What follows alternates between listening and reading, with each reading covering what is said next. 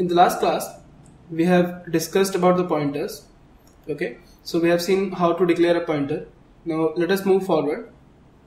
If uh, for example if I write main int a is equal to 5 okay? Then I'm writing int star b is equal to uh, address of a okay? And then I'm doing printf percentage p comma b. Okay? So let us suppose we are having this program. Okay? So in this program what I'm doing is there is a variable a and the value stored by the variable a is 5 okay? And let us suppose the base address of this variable a is 1000 now we are having a pointer b and this b is storing the address of the variable a. So as it is storing the address of variable a therefore it is storing 1000 okay? Now in the next statement in this printf statement I am printing b by using this operate uh, this percentage p. Okay? So this is used to print to print addresses or pointer. Print addresses or pointers. So now if we execute this program now this program will print 1000 in hexadecimal. 1000 in hexadecimal. Okay?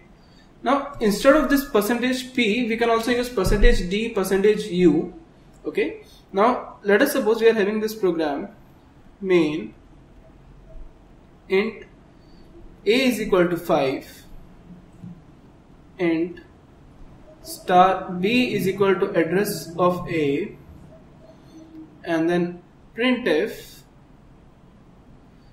percentage u comma b and then I'm printing printf percent d comma b. Okay? Now this percent u if I write this percent u this is used to print unsigned integers. So it is used to print unsigned integers. Unsigned integers. Okay? And if I use percentage d then this percentage d is used to print signed integers. Okay? Signed integers. Now if you see in some computers the size of integer is 4 bytes and some other systems the size of int is 2 byte so let here the size of int size of int is 2 bytes. So if the size of int is 2 byte that means if I use this percentage d that means these are the 2 bytes of this integer number. And let us suppose these are some bits.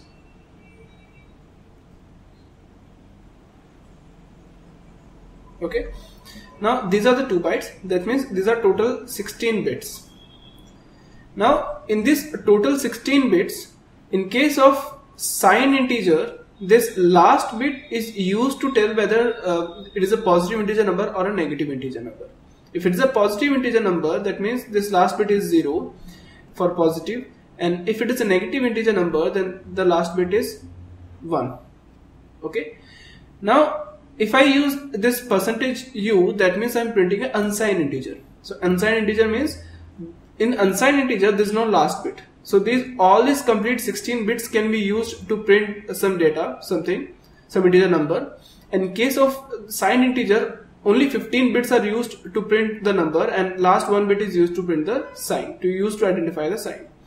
Okay?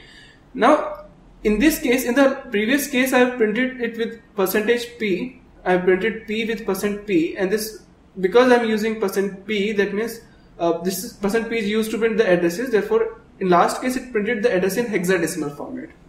But if I am using percent u and percent d then it will print address in decimal format. Decimal means the general way the how we use integer numbers in our day-to-day -day life. So it is going to print the address in decimal format. But in case of percent d it is not it does not guarantee that we are going to get the correct uh, address. Why? Because this last bit is used as a sign bit. So in some cases if the address is big if the last bit became 1 because of the address then it will show some address in a negative number which is not possible for addresses. So it may give correct output in some uh, cases. It may give correct may give correct address right? And in some cases it may not give correct address. So when it will not give correct address that means in that case it will give address in negative numbers which is not possible for addresses but if I use percent %u then this percent %u is always going to give a correct address. And it is going to print this address in decimal format. Okay? Now let us check uh, how do we print how do we print the uh, value stored in this pointers values pointed by this pointers. Okay